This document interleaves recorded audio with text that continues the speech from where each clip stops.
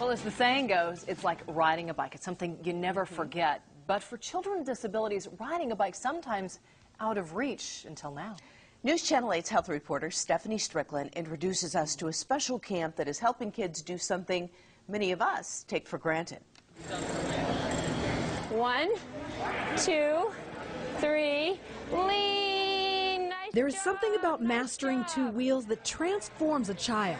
Good job. Now he's making a game of running over the cones rather than uh, than uh, going around them. You follow your mom. Follow your mom. But for these children, the hurdles are greater. The gains measured in small miracles happening in this Portland school gym.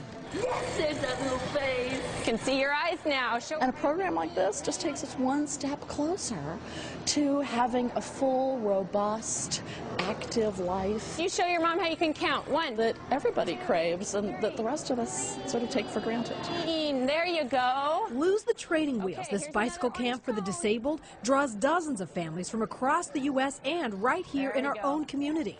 Uh, The demand was so high that there was just no way that we could say no. And so, yeah, we're back. As one of the organizers, Ann Donica Sullivan will tell you, watching a child ride a bike for the first time against the odds sticks with you in a very personal way, especially when one of the children is your own. Last year, we watched with amusement as her son Cody put on a show for us. He got it down, but this year, trying to bike you faster they can. this year he is doing circles around us. They're totally independent, which was the goal, so it's great. There is something about mastering two wheels that transforms a child. I cried yesterday when I saw Nikki ride. It's about seeing the world in terms of what one can do, taking life by the handlebars and riding off into the summertime. They just blossom, they smile, and just amazing things happen to these children. For your health, There you go. Stephanie Strickland, KGW Northwest News Channel 8.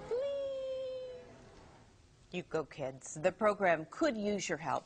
Demand is so great that they need volunteers or donations. Stephanie has a lot more information on her health blog at kgw.com. You can see the difference on their faces. They just light up. Mm.